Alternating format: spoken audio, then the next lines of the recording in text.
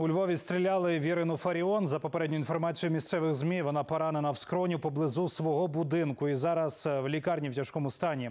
У поліції ТСН повідомили, що з'ясовують всю інформацію про стан потерпілої та обставини замаху. Район оточений правоохоронцями. По периметру працюють слідчі, криміналісти. Також кінологічна служба у місті запровадили план перехоплення.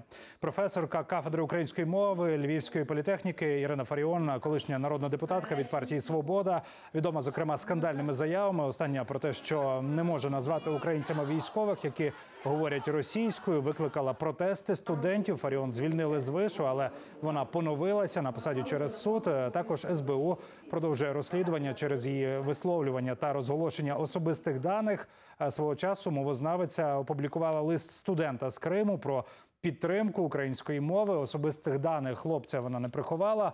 а Його потім знайшли окупанти.